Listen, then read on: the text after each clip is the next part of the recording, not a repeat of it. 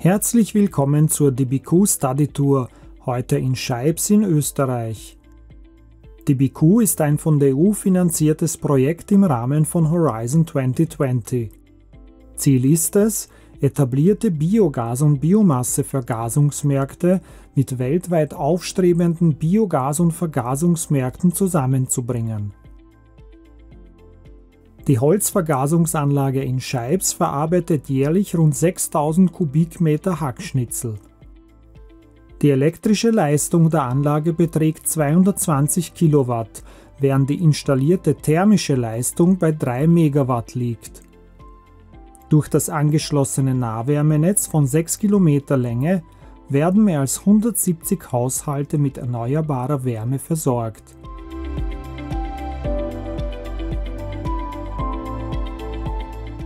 Das für die Holzvergasung benötigte Holz wird bereits als Hackgut angeliefert. Damit in der Vergasung ein möglichst einheitliches Gas produziert wird und um andererseits auch die bestmögliche Gasausbeute zu erreichen, wird das Hackgut gesiebt. Übergrößen werden ausgeschieden, weil sie zu Problemen bei der Förderung in den Schnecken und zu Brückenbildungen im Holzvergaser führen könnten. Feinanteile werden ausgeschieden, weil diese einerseits wenig zur Gasausbeute beitragen und andererseits zu Todzonen in der Vergasung führen könnten. Diese ausgesiebten Holzanteile werden in weiterer Folge in einem üblichen Hackgutkessel für die Wärmeproduktion verfeuert. Der überwiegende Anteil des Hackgutes hat eine relativ einheitliche Größe und wird im Vorfeld getrocknet.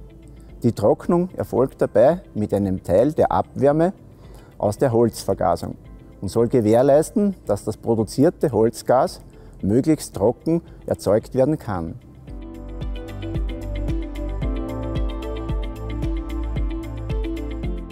Damit über die Fördereinrichtung zum Holzvergaser keine Falschluft mittransportiert wird, ist zwischen den Förderschnecken zum Holzvergaser eine Sicherheitsschleuse mit doppeltem Verschluss angeordnet. Dadurch ist sichergestellt, dass niemals eine direkte Luftströmung vom Hackgutlager in den Vergaser möglich ist.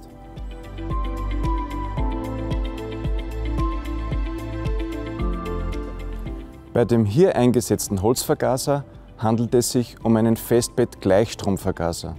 Dies besagt, dass sowohl das Hackgut als auch die zugeführte Vergasungsluft die gleiche Strömungsrichtung aufweisen. Durch die vor dem Vergaser angeordnete doppelte Sicherheitsschleuse ist gewährleistet, dass in den Vergaser nur Luft aus den Zwischenräumen des Hackgutes mit eingetragen wird. Das Hackgut wird mittels einer Stockerschnecke in den Holzvergaser gefördert, wo der Vergasungsprozess, also die thermochemische Umwandlung in Holzgas stattfindet.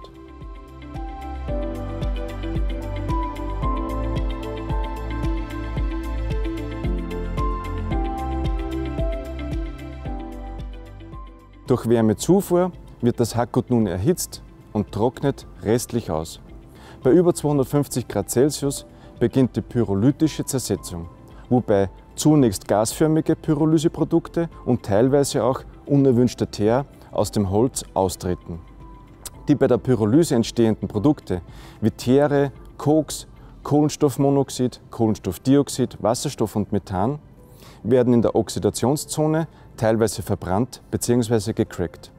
Als Vergasungsmedium wird vorgewärmte Luft verwendet, die über Düsen im Bereich der Oxidationszone durch ein Seitenkanalgebläse eingeblasen wird. Die Luftzufuhr wird dabei so beschränkt, dass nur ein Mindestmaß an Verbrennung erfolgt.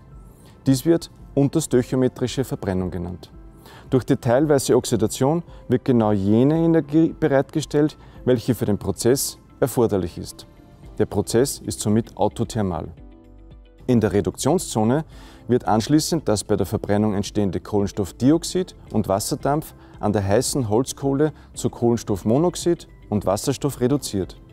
Durch die besondere Bauart und Regelung des Vergasers wird das Holzhackgut in ein sehr teerarmes Holzgas umgewandelt.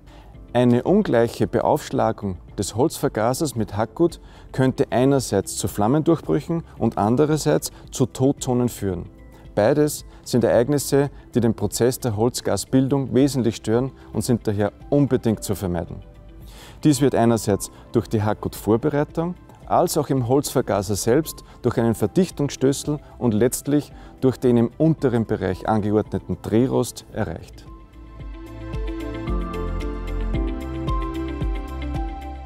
Nach dem Austritt des Holzgases aus dem Holzvergaser wird dieses zuerst in einem Wärmetauscher auf ca. 110 Grad Celsius abgekühlt und anschließend in einem trockenen Gewebefilter gereinigt. Damit der Gewebefilter nicht verklebt, dadurch seinen Durchgang und Reinigungsleistung verliert und somit vorzeitig ausgetauscht werden muss, ist ein möglichst trockenes und teerarmes Holzgas unbedingt Voraussetzung. Um dieses teerarme Holzgas zu erreichen, wird das eingesetzte Hackgut auf ca. 10% Wassergehalt vorgetrocknet. Zudem muss das gebildete Holzgas bei der hier eingesetzten absteigenden Vergasung vor dem Verlassen des Vergasers noch die heiße Reduktionszone durchwandern. In dieser erfolgt unter hohen Temperaturen und bei Luftmangel die Reduktion des Holzgases und auch der erforderliche Teerabbau. Letztlich erfolgt auch die Abkühlung des Holzgases nur bis zu jener Temperatur, bei der eine Kondensation von Teer vermieden wird. Der Gewebefilter selbst ist mit einer automatischen Abreinigung ausgestattet. Die dabei anfallende Holzasche wird wiederum mittels Schnecken ausgetragen, durch ein Wasserbad befördert und in einem Lagerbehälter bis zur Anwendung als Kohlenstoffdünger zwischengelagert.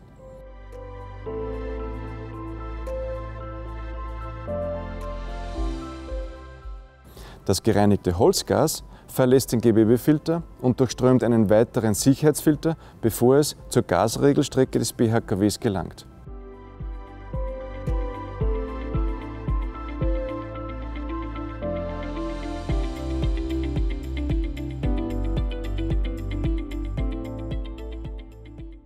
Nach der Gasregelstrecke dient es zum Antrieb des Motors für die Strom- und Wärmeproduktion.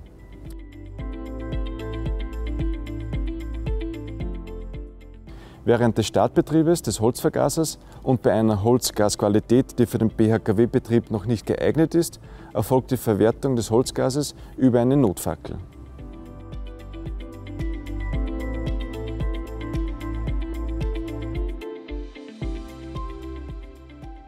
Die gesamte Anlage wird von einer zentralen Steuereinheit überwacht und geregelt. Ebenso erfolgt hier auch die Überwachung aller Sicherheitseinrichtungen.